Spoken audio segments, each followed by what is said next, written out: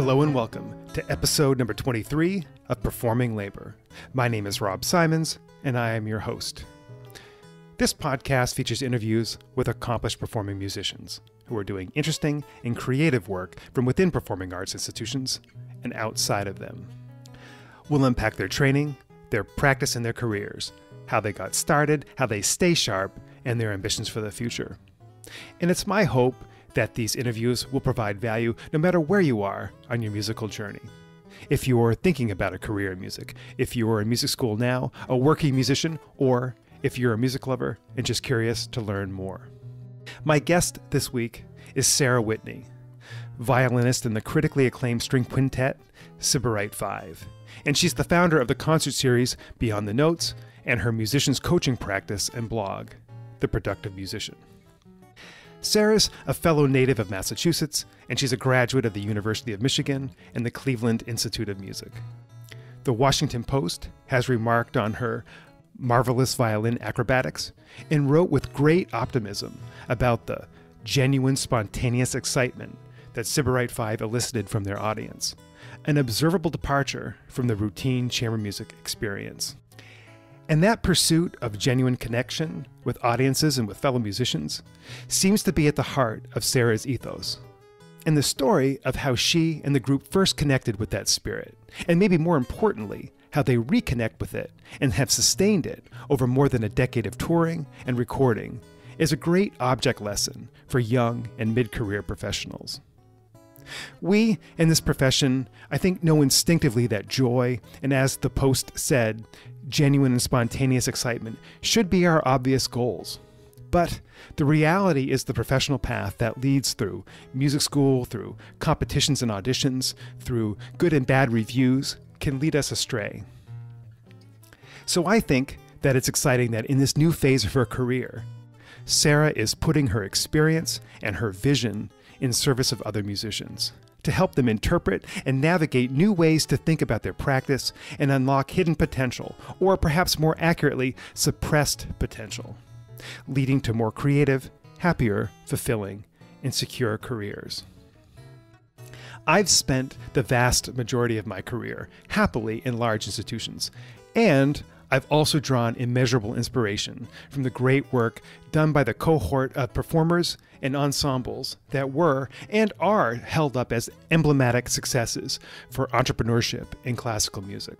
But I also think that there is an inherent tension between institutional music making and pure entrepreneurship.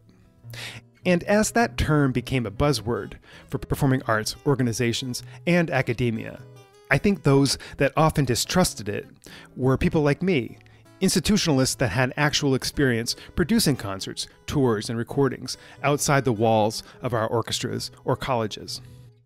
The Harvard Business School defines entrepreneurship as, quote, the relentless pursuit of opportunity beyond the resources currently controlled. And the HBS faculty member, Thomas R. Eisenmann, expands on that further, and I think reinforces what Sarah describes about her trajectory.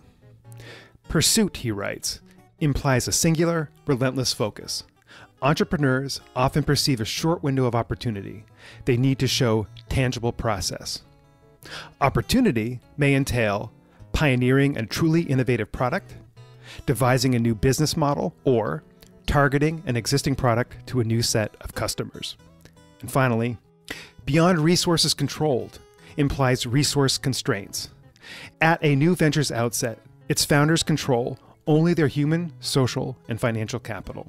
But I think it's worth noting that Harvard College was founded in 1636, and Harvard Business School was founded 273 years later, amidst a fair amount of controversy and resistance, and its campus is literally tucked away in another city. The friction between institutional thinking and entrepreneurship is not merely ideological, it is to a degree foundational. In his 2016 PhD dissertation, the musicologist William Robin wrote, quote, The rhetorical positioning of indie classical, that it came into existence outside the strictures of the concert hall and the academy, may create the false impression that the next generation could thrive without the traditional infrastructure of classical and new music. It is troubling, then, that the supposed entrepreneurialism of indie classical is presented as a solution to classical music's economic woes. Close quote. The key word for me in that passage is solution.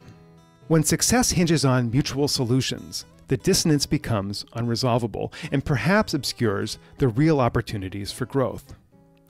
As I mentioned in this interview and discussed more in depth in the episodes with Teddy Abrams and Lisa Brooks, the direction of many large institutions is to take on more of a service element and a community building role, something more of a public good. In other words, something even less tied to the churning marketplace.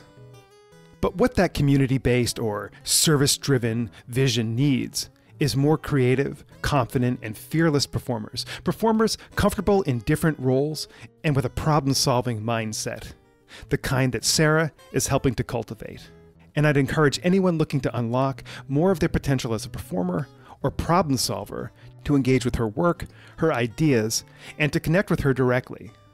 And the ways to do that are mentioned in the interview, and the links are available in the show notes. Please enjoy this interview with Sarah Whitney. Sarah Whitney, welcome to the podcast. Thank you for joining me. Thank you so much for having me.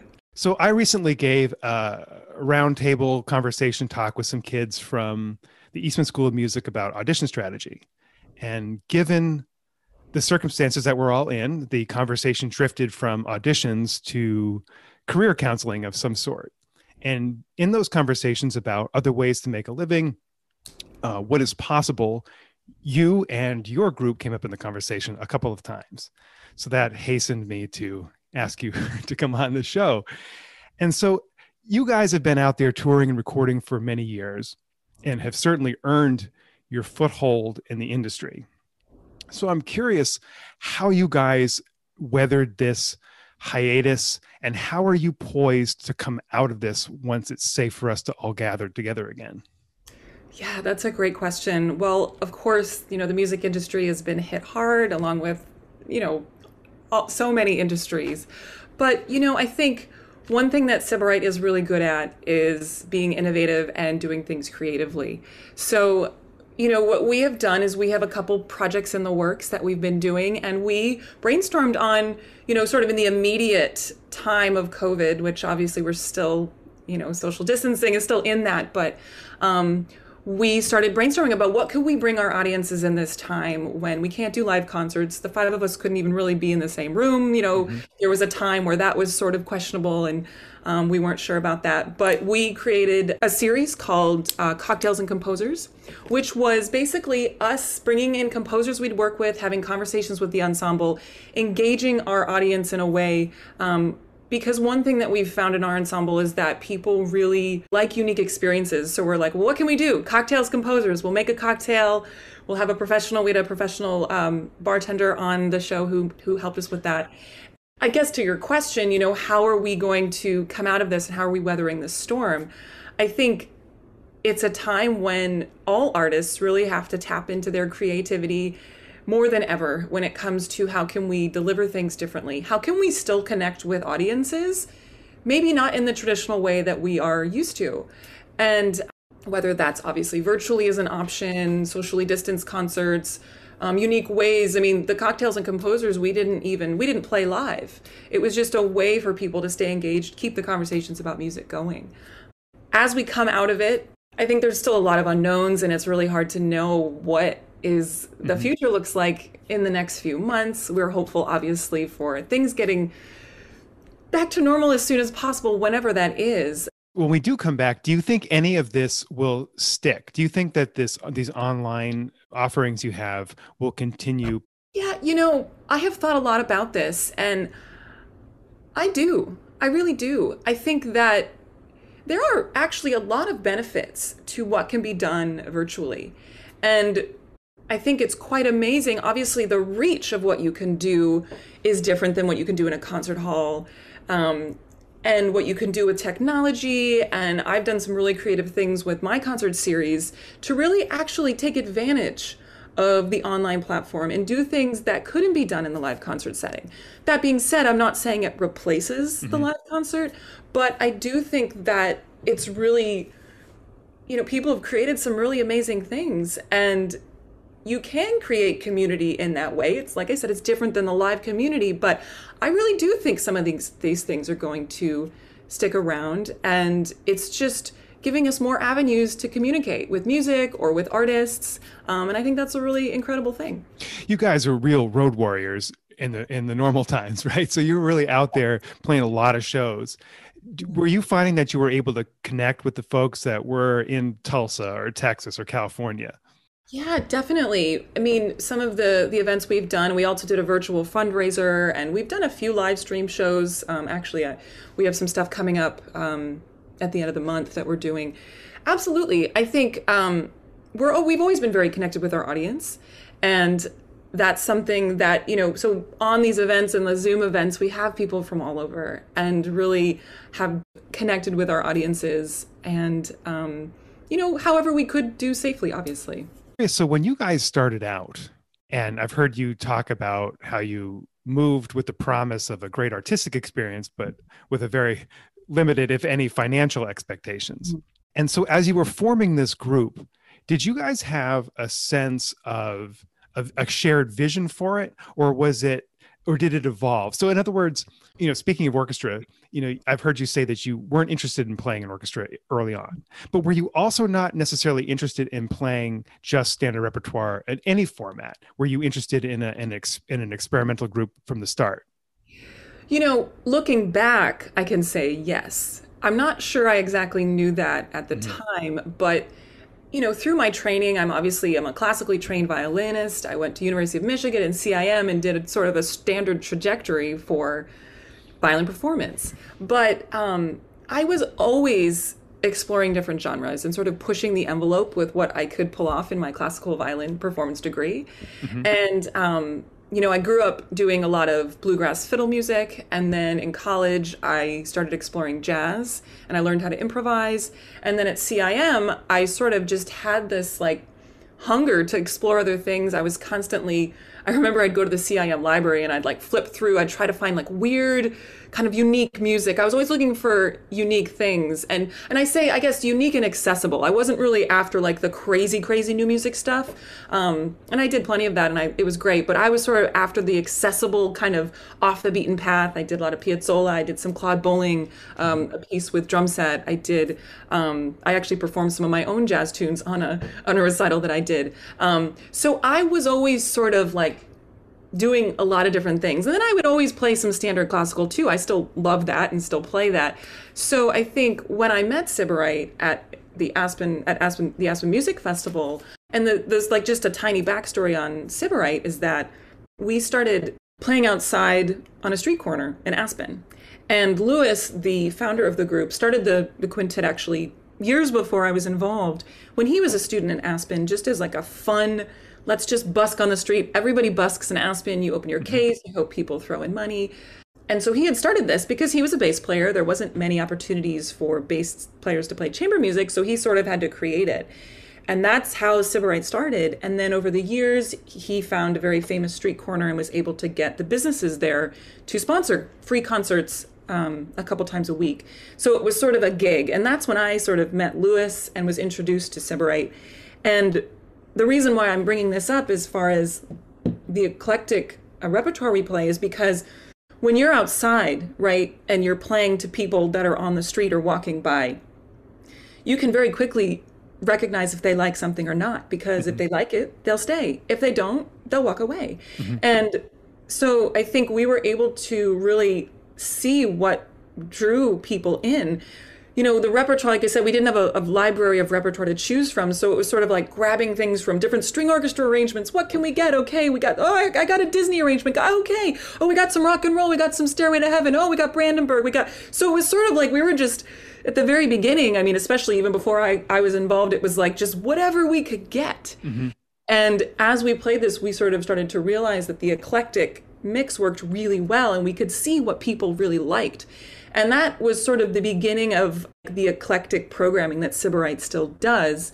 That's where it came from. Yeah, you know, there's the idea that startups should be lean and agnostic about what they're doing right that there should be no real plan because it means if you're if you're if you've got a plan that you stick to you're not listening you're not iterating, you're not changing based on the circumstances. So obviously in the DNA of the group and the skeleton of the group is this experimenting and also as you said accessibility.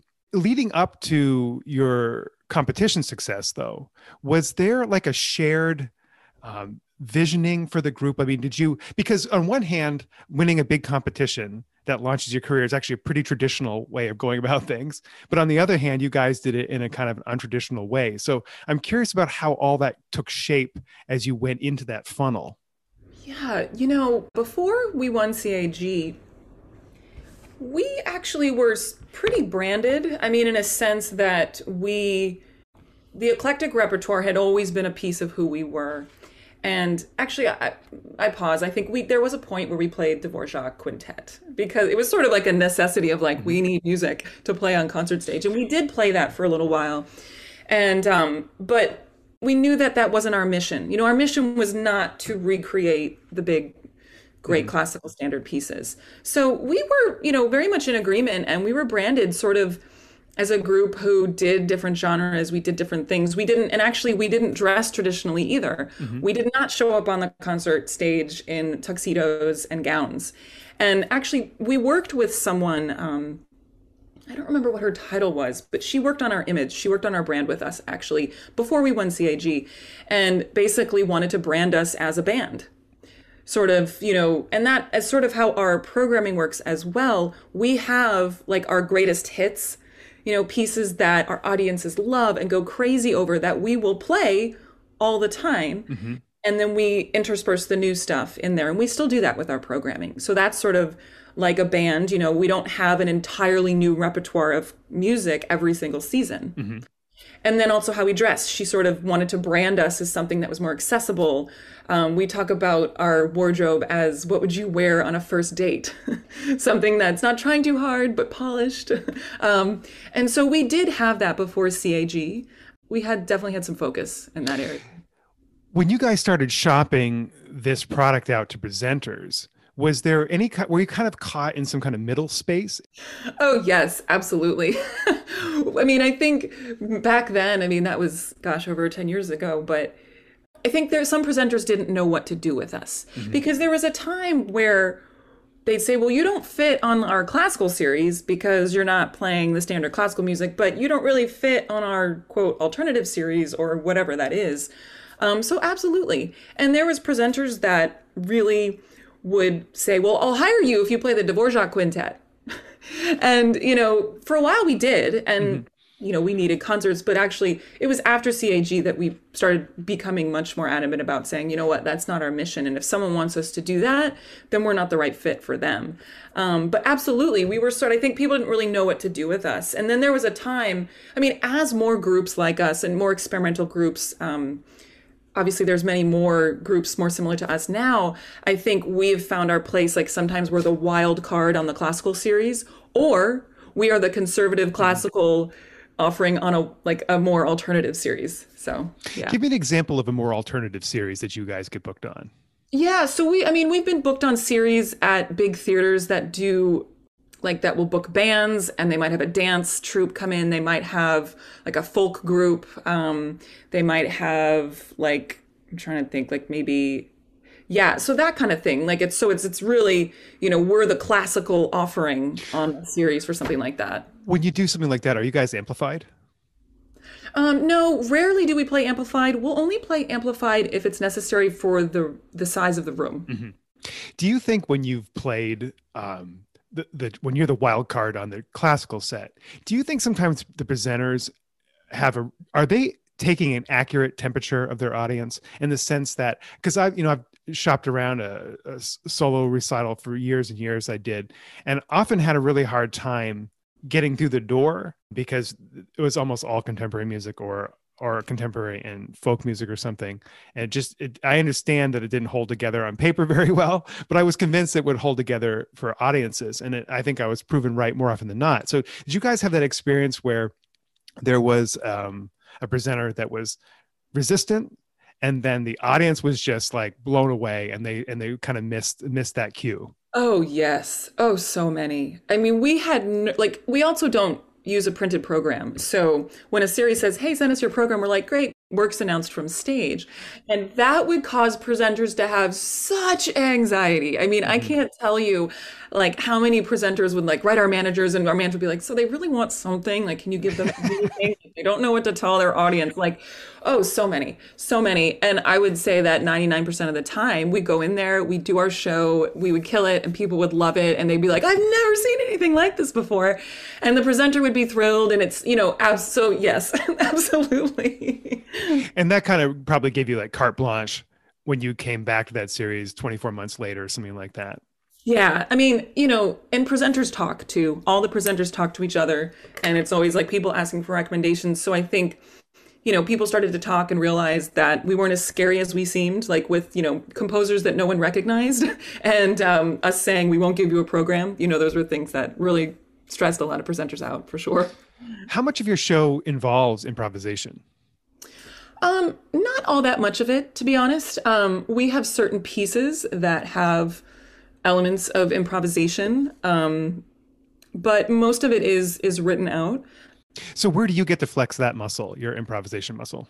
Well, I do get to flex that muscle. So there's a couple pieces that have been written with specific sections for me to take a solo. Um, sometimes um, you know i'm the main improviser in the group. Others do at mm-hmm. different levels and and the more um, and people in the in the group are starting to improvise more and more but for a long time i was really the only one who was comfortable doing that. So if we got an arrangement or a piece like sometimes the arranger or composer would want to know that and they would sort of write something in specifically for me. Given the the nature of your music did you did you guys have when you're coming up did you have mentors and role models? You know yeah when we started there weren't a lot of other groups doing things like we were doing. There was Time for 3 mm-hmm. so they were definitely a group that we were inspired by because they started before we did, I think. Um, I mean, there was Eighth Blackbird, which was not really like some similarities, you know, but no, there weren't a lot of groups doing what we were doing.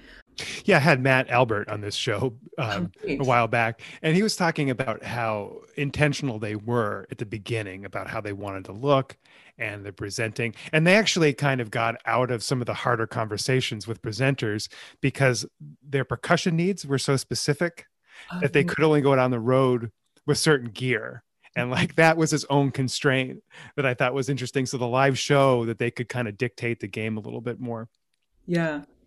So you guys released a live album during the hiatus here. Obviously, that was in the works before this all happened. But tell me about how that came about. Why why do a live album? It's kind of a, a unique thing for classical groups, and and how's that going? Yeah, so yeah, we did. We released an album in May um, called Live from New York. It's Sybarite Five, and um, yeah, so in New York, we have a residency at this place called the Cell Theater, which has been our home in New York for many, many years. I mean, I think we've had a residency there for eight or nine years. Um, and we play there a couple times in the season. And, uh, and so we just we had this idea i mean we and that's sort of like our test kitchen we do like wacky things there we do some collaborations there it's sort of like a really fun place for us so we had this idea we could record all those shows in sort of like the venue that was so instrumental in like our success in New York and giving us a place to experiment and create things. Um, so that's what we did. We recorded all the shows, and um, yeah, that's how that came about. Do you feel that as a product, it captures you guys better? In other words, people probably know you best as a live act. And so for the folks that are going to buy your record, do you think that they take home something that's more authentic in, in a live record than they do in a studio one? You know, I think the energy might be a little different. You know, mm-hmm. I think it's different. I, I wouldn't say it's more authentic, it's less authentic. I think it's just a different experience when you're li- listening to a live show. Um, but yeah, the energy is definitely, um, I would say, different. And yeah, it's a great, it's a great record. I really enjoyed listening to it from top to bottom. And uh, it struck me though that so much of my listening I hadn't really put this together until, until I was thinking about this. That so much of my listening is informed by the medium. So I listen to a lot of music on YouTube, and I listen to a lot of the versions of the songs or whatever I'm listening to. I tend to gravitate towards the live ones where i would have thought of the record the studio record as being like the document version of these things that i as a listener even as a pro um, are drawn like gravitationally to the to the live recordings and i found that interesting because i guess i don't really hear too many live um, production records like you guys put out. So thinking about the going forward, you've recently left New York City. What is the benefit then as a so obviously you guys had rehearsed and all that, but you're mainly a touring group. And so what is the benefit for a young musician being in New York City if you're not a part of an established group like you are? There's so many benefits to being in New York City. I mean, I can really only speak to the main benefits pre-COVID, mm-hmm. obviously. I want to hear about that though. Yeah, I think New York is just a place where there is so much happening. I think that the innovation, the creativity, um, the inspiration, the people you meet, I think it's just such an incredible place to to be and and, and just explore. I think um, New York is the place where you can try anything. And I think that that is just a really incredible thing that New York has to offer. And also, you know, collaborations with other artists. I mean, high level artists mm-hmm. of all different kinds.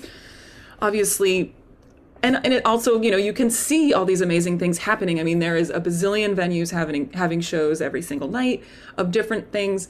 You know, it's just sort of a place where people are being so creative and fearless and doing things that aren't being done anywhere else. Moving there was that some some kind of a finishing school for you, like being able to be around all those people? You know, it's interesting. My move to New York was actually not something that I could have predicted. I didn't like I didn't grow up thinking, "Oh, I want to live in New York City," or even in school I wasn't like, "Yeah, I'm going to move to New York." I actually really didn't think that at all. And to be completely honest, I only went to New York twice before I moved there. I never went to the city. And so the few times I'd gone there, I was like, oh, this place is amazing, but so overwhelming. Like, ah, no way. And, um, but when I got the call from Lewis and Sybarite 5 asking me if I was interested in moving to New York to build up the group, it really made a lot of sense because mm-hmm. I met them at Aspen and I realized I didn't want to be in an orchestra. Um, so it sort of happened organically, but um, but yeah, I, I think it was, you know, and I think that's also now that I'm not there anymore, it sort of makes sense because I loved it there. It was I had an amazing time. I just think Manhattan is not. I'm not a life. I'm not a Manhattan lifer like at all. So. Do you think that the things that drew you there and the things that well maybe not Sybarite obviously but the the elements the larger elements that drew you there do you think those things will return after the pandemic do you think those things will just will persist yeah i do i do think i do think they will new york is an extremely resilient city mm-hmm. and people are so dedicated to well, people are dedicated to being there. People are dedicated to keeping it alive. You know, when I've been back, and I've been back to the city many times during the pandemic, the energy is still there. Obviously, things aren't happening the same way, mm-hmm. but people are finding ways to make it happen. You know, the restaurants are building out these platforms in the roads, and and you know, musicians are doing things on their porch or presenting things in these. You know, so it's like people don't like New Yorkers aren't just going to sit back and say, ah, COVID, oh well. You know, they're like, all right, like, what can we do to make this work? You know, of course it's challenging, but I really do think that it, it will bounce back. I mean, it'll take some time, but I think that, that New York is never going to lose lose that during this, I had to go out to California for a little bit, and going up there from sleepy Rochester to Los Angeles, it's like, oh yeah, where, where, there is a degree of activity in mm-hmm. these large cities that is you can really forget about if you've if you've moved away from it. Yeah. And it is a, I think it's a fairly resilient industry. I mean, the music industry. Um, what are your thoughts on what might change in terms of priorities in the music business uh, as we come back from this? Do you think that, I mean, certainly the orchestra business is having, we're having some really uh, hard internal conversations. I'm curious what your slice of the industry is talking about in terms of priorities coming back from this. I think that I've had a lot of conversations with musicians who, have had some time and space or just clarity around things that are working in their lives, things that aren't working. And um, I think that's brought about some really interesting conversations and force a lot of people to really get in touch with what really matters to them in their careers, in their lives. Are they creating the things they want to create? Are they doing the projects they want to do? Are they happy? You know, like I think in the swing of the crazy musician busy life that so many of us lead, it's easy to it's possible to lose sight of that. Mm-hmm. and and you know have you created a career that you just sort of feel like you should be you should like it now because you created it? Or you know so i think there's been a i've, I've been around a lot of uh, a lot of conversations happening around that. And where our priorities i think in addition also it's like coming back to what's really important to the music. Like why do we play? Like you know why do we play concerts? Why do we make music um, i think there's been a lot of that too sort of grounding musicians. And that's been really i mean i think that's there's, there's been a lot of benefits to to having those conversations and really getting true to to what really matters and why we play music in the first place you know? So in my part of the industry you know we have a lot of um, capacity right? So we play a lot of concerts you know six days a week work schedule with however many concerts a weekend over 40 some odd weeks a year it adds up to a lot of activity and i was recently introduced to this idea of scaling versus growth maybe mm-hmm. you've heard so right so we have a lot of growth right? So we pile pile more concerts, more rehearsals, more repertoire, and to the point where we got this big, big, huge hulking season, which is a, an accomplishment in and of itself, right? The, the human the human capacity it takes to pull off an orchestra season is enormous.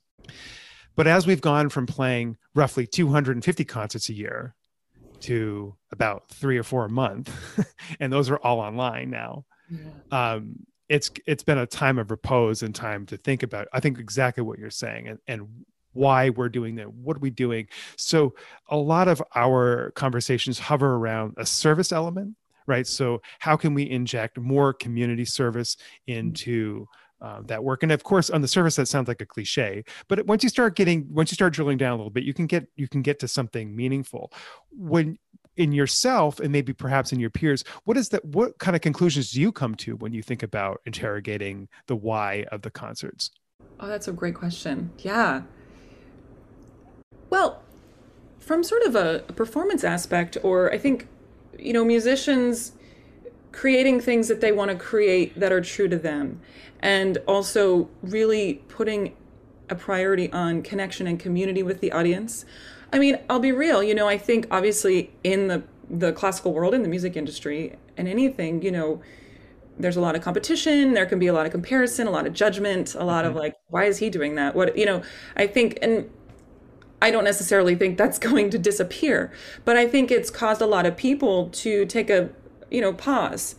And it's less like, oh, judge, like, you know, maybe the judgment is a little quieter, or maybe we can kind of let some of that go and just say, well, okay, so maybe I'm not totally crazy about that project or the way that person's presenting themselves or the type of music they're playing.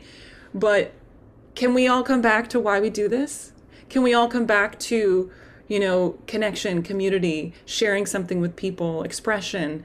Um, yeah, so that's sort of what what comes to mind, I think, mm-hmm. and um, and that also sort of leads people to realize that maybe there are projects they want to do that they haven't, and things they want to create, and sort of opening a pathway where they can be more connected to the why. Some of the noises, the voices in our head, the self doubts, or all the comparison or the judgment or whatever.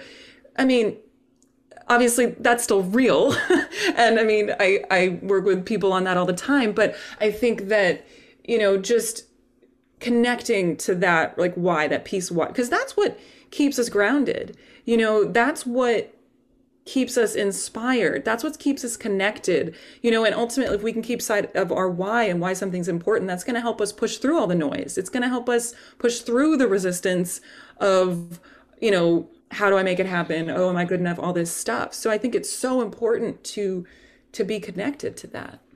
So you mentioned that you help people break through with this stuff, and I'm curious though, do you find that the competition in our industry can be kind of become kind of a dulling force on musicians in the sense that right that it makes us that we end up mistaking the competition for the for the reason why we're there? And so it seems to me that you are a fairly unique individual in the industry in that your group is so centered around the in, the audience experience and the audience's energy that you're more con- you're you have more experience being connected to that and is that something that y- your practice of helping in your your coaching is helping liberate classical musicians that probably aren't quite in touch with that I hope so. You know, I hope it is. And I think you just made me think of something you said, you know, mistaking competition or something about mistaking competition for Well, we mistake the competition. That's the thing that like that's the target, not yeah. the audience Yeah, well, I think, yeah, absolutely. And you also made me think of like we sort of mistake the competition as gauging our success mm-hmm, mm-hmm. and, you know, sort of letting that be the driver or le- letting that be what determines whether we're successful, whether we're good enough, whether we're doing the right things, and also losing sight of why we're doing this in the first place. So I think, um, yeah, I mean, compet- I mean, you know, I, I don't, I don't think competition is bad necessarily. I think there's a lot of benefits to having to having that in our world and obviously it's it's there. But I, I i i agree with what you said. You know it can sort of it can it can lead to you said the dulling like the, mm-hmm. i loved that word. I think i i mean you know you were on zoom. I shook my head fiercely when you said that. Um because um yeah yeah absolutely. So classical musicians are evaluated. We're from a very young age. We probably went through some of the similar institutions through our years and it seems like a steady stream of evaluations. And that can become i think a burden. It can uh, kind of accumulate. And is and is your coaching then part of like unlearning unlearning those things? You know i'm not i'm not sure it's it's unlearning. You know my coaching is really focused on helping people see possibility and creating what they want to create. You know whether that whether something is being blocked because of experience with competition, maybe that's the case. And a lot of like I think, you know, it's such an interesting conversation to think about that. I think a lot of it does stem from that. But for me, you know, I think I'm really focused on helping people get through those blocks. And whatever it may be, you know, that's my job as a coach to sort of be the detective and help people unlock those things that are holding them back so they can create the opportunities they want, you know, feel like you know really have more ease and excitement and opportunity and, and joy honestly in their career and what they're creating. I almost see it as kind of like continuing education. My my wife um, who's also a CIM grad uh, she she had a wonderful gr- uh, top level violin career and she kind of just uh, let's say ran out of steam with it. Like the career didn't absorb her energy anymore and so she's gone on to other um, business ventures and been quite successful. One of the things that surprised me about watching her go through this transition, though, was in the business world, particularly in the entrepreneurial world, there are so many support networks. You know, there's so many opportunities for one on one Uh, learning and in group learning and I almost wonder if that's like the missing piece in our education is this idea of continued learning. So do you almost see your practice as a as a coach as sort of a continued learning for your for your clients? Yes, I love that you said that. Yes, absolutely. I mean, I'm a lifelong learner. I think that you know what i hope to do is i want to create community around the things that i coach on you know i lead group programs i do one-on-one coaching and i think you're absolutely right. You know, support systems you mentioned that you're in the business world that, you know, your wife has been a part of or is aware of. It's so important. I think that you know, you look at the business world, people are constantly taking courses, cont- learning new skills. It's, you know, it's sort of, um, the support network is really strong. And obviously, I think as musicians, we are, we are, you know, primed to say, oh, I'll take some lessons. Okay, great. You know, I feel like that's something we all understand. But but yeah, I think the continued learning is really important, and also recognizing that we can change. Right? We might change. We might be in college, think we want one thing, do one thing, and then want to do something else, and that's okay. I mean, people do that in all different types of careers all the time. Um, so yeah, I just you know I hope to create community around that and and create a supportive environment where we can have real conversations about the challenges that musicians face and offer solutions and offer tools and really be focused on you know what do you want to create? What's most important to you? Mm-hmm. and then figure out what's missing between where you are now where you want to be and you know so that's really like the root of my work. Yeah, so many of the conversations I've had on this program, and even the last one I had was was with a dean of a music school, and there's this constant tension between um, time or the lack of time and all these things we want to try. So if you're pursuing an orchestra career, four years, six years probably really isn't enough time to get ready as it from 18 to 24 or whatever it is um, for that for that profession. Um, probably the same thing in chamber music. Like it just you just need more time. And then to reform the curriculum is like turning around an ocean liner. And because of the tradition and just institutional process is slow by almost by definition. but what are the things you think we could inject into perhaps an undergraduate curriculum or even a master's curriculum that might um, water these these seeds of of these of, of personal creativity? Because that seems to me the thing that our industry lacks right? We we there's no lack of work ethic. There's no lack of technical trade there's none of that stuff is all fully formed. But what we do lack is is sort of um, curiosity perhaps and self curiosity yes absolutely. I couldn't agree more. I think you're absolutely right. I think um you know as as in as an undergrad right you're young you're moldable you're looking for guidance. And of course like that's necessary. You want people to tell you what to do. You want people to guide you.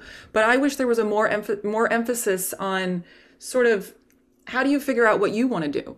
You know i think we land in, we live in a land of shoulds right like you should do this i mean you should do this you're a violinist you should get an orchestra job because that's what violinists do or you should do this i think that um you know, just conversations around this. Can we have conversations around this? Can we be real about all the pressure of the shoulds? And at the end of the day, I think it's important for people to recognize that you may not be interested in what your classmates are interested in, and that's okay.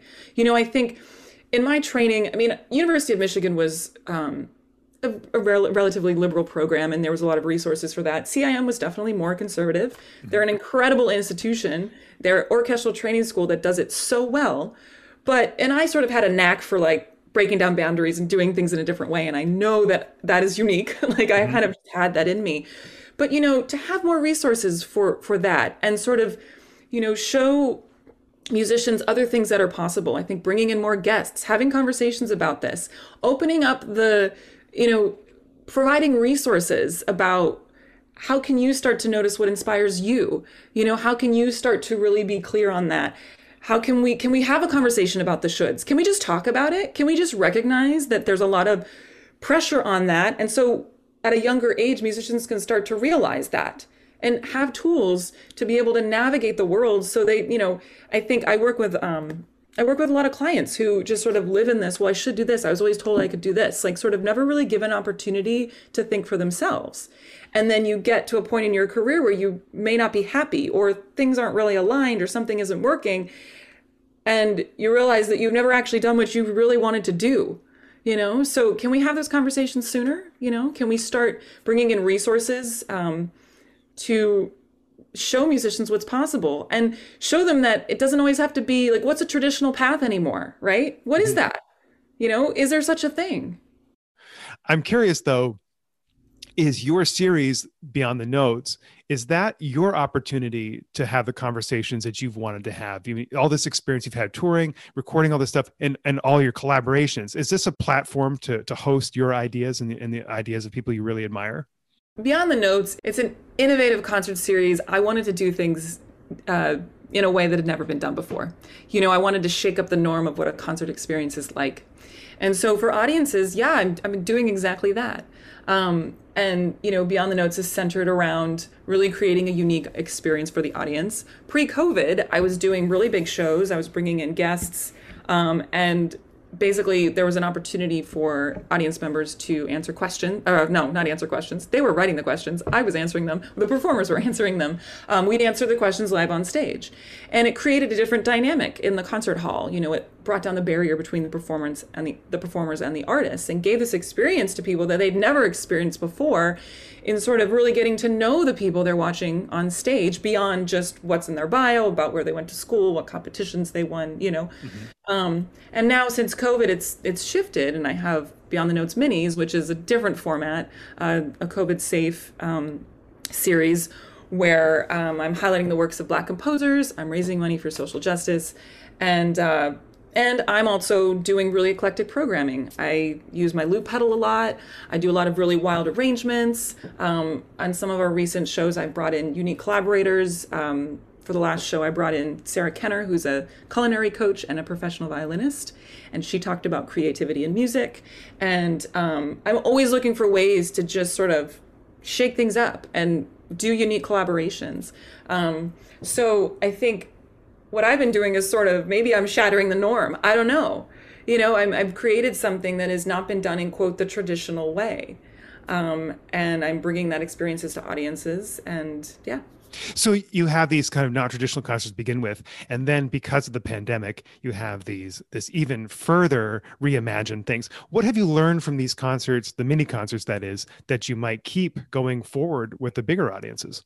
Oh my gosh, I've learned so much. I mean, well, just sort of on a general level, I think it's also I've realized how much um, people really are hungry for music and the connection and I mean, I say that sort of, I always knew that, but just the response that I had from, I started doing the shows live outside mm-hmm. um, in the warmer months, socially distanced, and now it's all virtual. But just the community and the connection and the excitement was really, really inspiring. And I think also, you know, I brought in, obviously, I wanted to highlight the works of Black composers. I'm addressing social justice issues mm-hmm. by, I choose a different organization for each set of concerts I do and 25% of the proceeds are donated and i'm having conversations around that and i think i definitely want to keep that apart i want to keep um, that a part of the concert series i think moving forward looking looking ahead i'm still i mean i'm planning on doing a show every other month i think it's sort of unraveling as mm-hmm. as time goes on but um, i think that people have really liked kind of the added elements that i've been bringing in i mean a lot of them have been possible because of the virtual scenario. Mm-hmm. But um, I definitely want to. And I think also the small setting has been nice. I mean, granted, in socially distanced shows, I could only play concerts for about 10 or 12 people. So mm-hmm. I did eight shows in a weekend. So I'm hoping for slightly bigger than that. But um, the intimacy of that, and uh, I think is something that I'm I want to to definitely keep as I figure out, you know, how things are going to evolve as concert halls start to open up and all of that.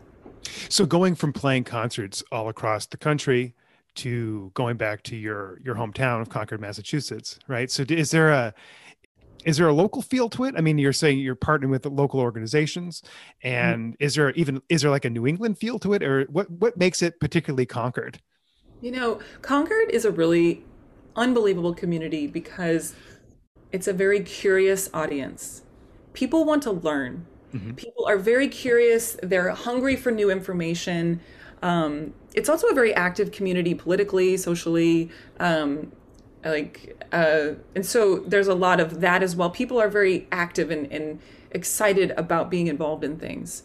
So I think, and that's one of the reasons why I've been so successful with the series is that there is this hunger to learn and experience things in a different way. People are just, they like want to know why. How did you do that? Why did you do that? Tell me about this. Where does that composer, like, where did that composer grow up? Or what, what does that piece mean? Like, they're just like, tell me, tell me, tell me.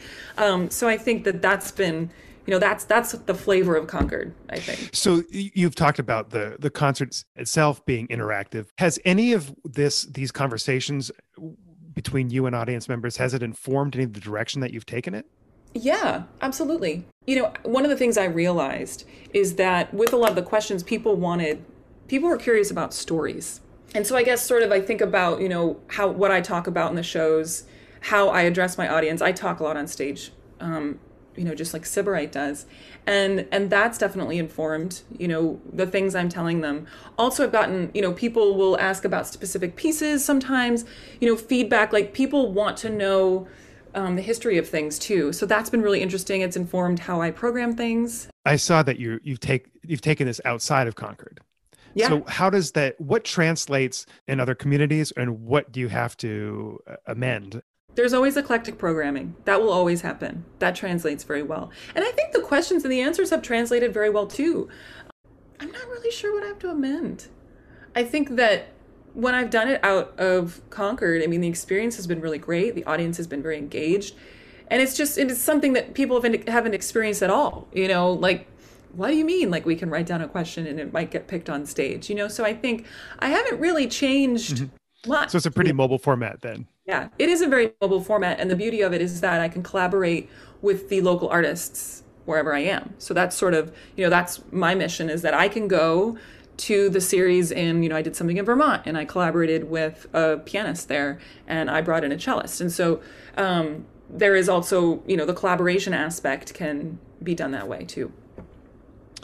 Well, Sarah, we hit on many of the, I think the the legs of your your stool here and the i'm curious about what other things you have going on though that i that i missed Well, you know, one of the things I've been working really hard on during COVID is really building my musicians coaching business. And I'm a musician's life and business coach, and I help people um, really unlock what's holding them back from creating the career of their dreams. You know, I help people create more ease, joy, and excitement.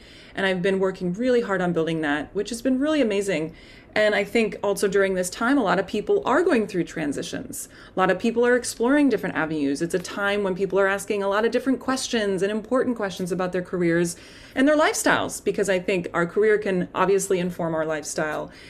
So, you know, I, I work one on one and I do group programs, and I actually have a group program coming up, which I'll be launching, I'll be starting in the end of March. It's called the Career Reboot. And essentially, it's four months and it's an experience for musicians to really dive into, um, you know, how to create a career with more joy, ease, and excitement and opportunity. And it's a combination of business skills. It's a combination of really of learning how to master the things that get in the way. Um, and you know what I do with my clients is I help them. You know, you figure out where you are now, you assess where you are now, you figure out where you want to be, and I help clients build that bridge um, so that they can actually reach those goals. And where can they find you for that? Yeah, well, you can find me on my website at sarahwhitney.com. Um, I also have a blog called The Productive Musician. Um, you can read about some of the things that I talk about in the coaching world. That's theproductivemusician.com. And you can find me on Instagram at The Productive Musician. And um, yeah, and if anyone's interested, I offer free 30 minute discovery calls for anybody who's interested in learning more about the program or just learning more about my work. Um, I'm happy to talk to anyone who is interested in sort of um, making changes or just wants to explore to see if it's the right fit. I'm curious with this program, how many hours a week kind of commitment is it for a student? Yeah, well, it's mostly it's, it's, all professionals. Yeah, it's all professional musicians. Um, the commitment is from one to three hours a week. You know, there'll be weekly uh, training sessions, there'll be group coaching sessions bi-weekly. Um, the commitment is not huge, I think, but the beautiful part about the program is is honestly the community. My goal is, you know, I did this program uh, last spring, and this is the second launch of that, and just bringing together a community of musicians who are like-minded, who really are dedicated to creating what they want to create, who are willing to have real conversations about the challenges that we face.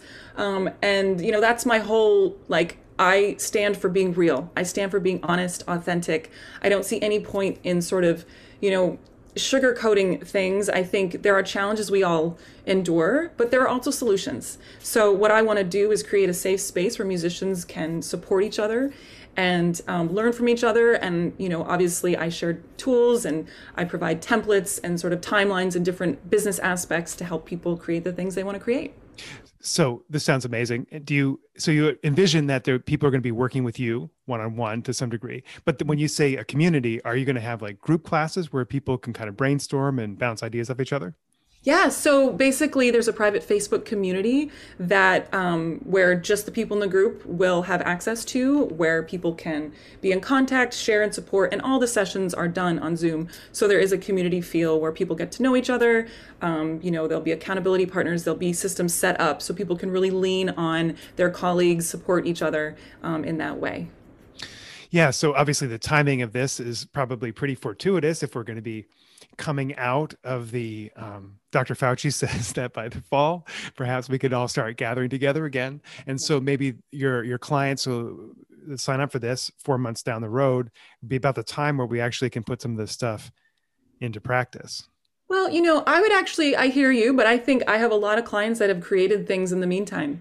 You know, I think it's, I'm really of the thought of, you know, there are obviously things that we can't do now, you know, mm-hmm. live concerts being a challenge. But I have clients that have created online concert series. I have clients that have launched podcasts. I have clients that have created really successful online teaching studios and, you know, been innovative with the way they're creating things. I have clients who've released recordings and videos. And so I think I'm of the school of, you know, it's not that we have to wait around for our projects to happen you know it's that how can we be creative with what we want to create now and adapt to the times? I think being adaptable being flexible is is something that is always helpful in you know our career in our lives. So i would say that you know many of my clients are full on in their projects. Maybe their projects aren't exactly how they envisioned them pre-covid but i think there's no reason to feel like we have to wait around for things to open up again. Well this podcast began during COVID, and perhaps because of it, because I had the time. It's something I had been I, I've wanted to do something like this and learn from my peers around the country. Um, do you think that this this time during the pandemic has actually unleashed a certain amount of creativity? Yes, I do. As I mentioned earlier, I think it's given people a chance to sort of think about what's important to them. Um, you know, me personally, I think just from my experience with my concert series, I've been doing a lot of arrangements for violin and loop pedal. I've been actually being creative in a way that I hadn't been. Mm-hmm. And I don't think I realized how much that was missing from my career, just me making my own creations. Um, and I know other people that have felt the same, you know, having space and time, or maybe not space and time, but just assessing things in a different way and realizing that maybe their creativity isn't being as nurtured as it could be. Does all this stuff that you see the interactions you've had with folks in your community, the community you've built online, and sort of the pent up energy that all this has created, does it make you optimistic for the future? Yeah, absolutely. If I'm, you know, I'm absolutely optimistic about the future. I think that it's an incredible time for us to create new things. And musicians, if anyone can be creative and innovative, it's musicians. So we've got that working for us. Well, thank you, Sarah. I think it's a good place to wrap up. I really appreciate your making time for this. Absolutely. Thank you so much for having me. Thank you for listening. The music, as always, is by Craig Wagner, guitarist from Louisville, Kentucky. Our next episode features singer, songwriter, harpist Michaela Davis from right here in Rochester, New York. So please go ahead and hit subscribe.